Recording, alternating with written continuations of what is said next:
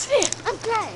And we are here today to Prank. prank, prank, prank, prank. Can you see yourself? Prank, yes. Prank, prank, prank, Prank, prank. prank. Prank! Prank.